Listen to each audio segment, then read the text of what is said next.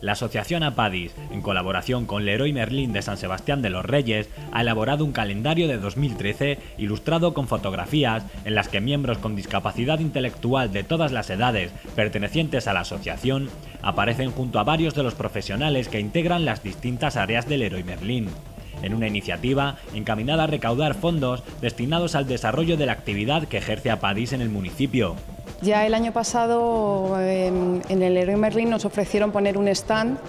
de los productos que se realizan aquí en el centro ocupacional, de nuestros platos, em, objetos navideños. Este año nos lo volvieron a ofrecer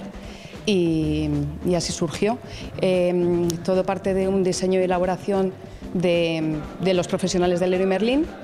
junto pues, con personas con discapacidad de nuestra entidad. El calendario, del que se han editado aproximadamente mil unidades, está a la venta en las instalaciones de la Asociación Apadis, así como en Leroy Merlin, pudiéndose solicitar un ejemplar al pasar por caja, aportando la cantidad simbólica de 3 euros, que servirá para apoyar y ofrecer oportunidades a personas con discapacidad intelectual a través del empleo de recursos comunitarios y su inclusión social mediante los múltiples proyectos que desarrolla Apadis. Está costando.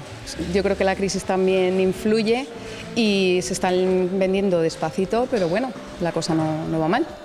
El diseño del calendario corrió a cargo del personal del Leroy Merlin, que ha colaborado en la iniciativa prestando su imagen en unas sesiones fotográficas que tuvieron lugar en la propia tienda de esta superficie comercial, demostrando su compromiso e interés por contribuir en la normalización de la vida de las personas que sufren discapacidad intelectual.